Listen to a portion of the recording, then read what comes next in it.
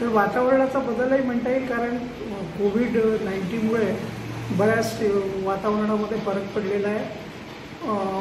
Vehicle चालत नसल्यामुळे प्र जो हवेचा प्रदूषण व्हायचा तो कमी झाला आहे पाण्याचा प्रदूषण कमी झालं आहे जंगलावरती जे काही किंवा तलावामध्ये जे काही अतिक्रमण व्हायचं किंवा डिग्रेडेशन व्हायचं ते थोडंसं कमी झालेलं आहे. आणि त्याचा परिणाम म्हणा हे एक कारण असू असू शकते आणि दुसरं कारण असं की जेव्हा हे फ्लेमिंगोज मायग्रेशन रूटवरती असतात किंवा मायग्रेशन करत असतात त्यावेळेला एक दिवसासाठी दोन दिवसासाठी ते अन्नासाठी आणि आराम करण्यासाठी म्हणून ते एका तलावावरती उतरतात.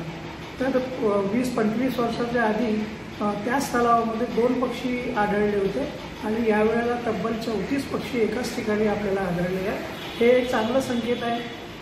आणि गोंदिया आणि भंडारा हा जिल्हा तलावाचा जिल्हा असल्यामुळे या ठिकाणी भरपूर तलाव तलावं आहेत आणि तलावातली जी जैवविविधता आहे आणि त्यामुळे हे पक्षी आपल्या सौंदर्य या तलावामध्ये अन्नासाठी आणि विश्रांतीसाठी थांबलेले होते. काल भंडारा आणि गोंदियाच्या सीमेवर असलेल्या सौंदर्य या ठिकाणी अचानक बत्तीस ते चौतीस फ्लेमिंगोचा एक मोठा थवा आपणास अचानकपणे पाहायला मिळाला. भंडारा आणि गोंदिया जिल्ह्यातील या तलावामध्ये फ्लेमिंगोची ही पहिलीच भेट आहे असं म्हटलं जातं. गेल्या वीस ते बावीस वर्षामध्ये फ्लेमिंगो आपल्या या प्रदेशामध्ये कधी कुणी बघितलं असं कुणी सांगत नाही. तसं काही रेकॉर्ड आढळून आलेला नाही. साधारणपणे दोन हजार सतरामध्ये नागपूरच्या अंबाझरी तलावामध्ये फ्लेमिंगो आढळून आले होते. पण तेव्हापासून या परिसरामध्ये फ्लेमिंगोचे अजिबात दर्शन झाले नव्हते. पण काल एक तारखेला अचानक बत्तीस ते चौतीस अशा फ्लेमिंगोचं अचानकपणे त्या ठिकाणी दर्शन झालं. भंडारा आणि गोंदियाच्या सीमेवर असलेल्या सौंदर्य या ठिकाणी मुख्य रोडाच्या म्हणजे हायवेच्या बाजूलाच एक छोटासा तलाव आहे. आणि या तलावामध्ये हे फ्लेमिंगो आढळून आले. अचानकपणे आलेल्या या फ्लेमिंगोमुळे पूर्ण जिल्ह्यामध्ये एक उत्सुकता निर्माण झाली होती. साधारणपणे फ्लेमिंगो हा जो पक्षी आहे हा खारट पाण्यामध्ये राहायला त्याला आवडत असतं.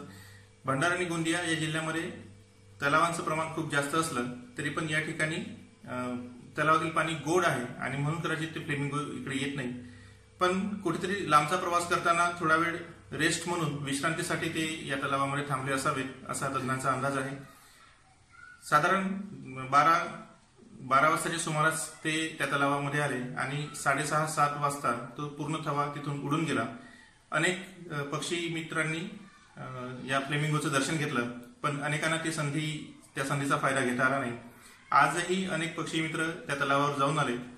परिसरातले शिवनी बांध नवेगाव बांध आणि अशा वेगवेगळ्या तलावांवर त्यांनी भेटी दिल्या पण आजूबाजूच्या कोणत्याच तलावावर ते पक्षी आज आढळून आले नाही आणि अनेक पक्षी मित्रांचा हिरमोड झाला.